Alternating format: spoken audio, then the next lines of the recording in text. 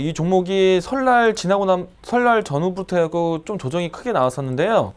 자, 네. 이 종목을 처음에 사셨을 때는 단기로 보셨어요? 장기로 보셨어요? 그냥 중기 정도로 봤어요. 음, 그러면요. 지금 이제 올라오는 방향이지만요. 이제 이제서야 올라오고 있지만은요. 매수가에서 만족하지 마시고요. 중기 생각하신 기간만큼 끌고 가셨으면 좋겠어요. 네.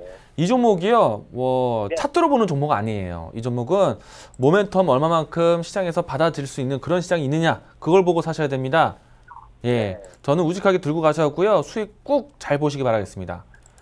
제가 생각하는 가격대는요. 적어도 75만 원대까지는 보셔야 돼요. 네. 예, 충분히 모멘텀 많습니다. 네이버요, 카카오와 같이 동반 선장할 수 있다고 생각되고 있고요. 어, 네이버가 다양한 컨텐츠로 시장 공략을 하고 있어요. 올해 와서는 음원 사업도 새롭게 시작을 했고요. 그리고 카카오하고는 다르게 해외 시장에서 상당히 브랜드 가치가 높습니다.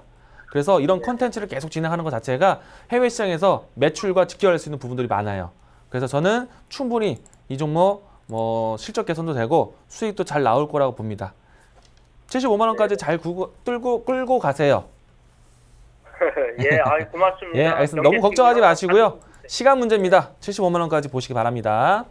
네, 고맙습니다. 네, 감사합니다.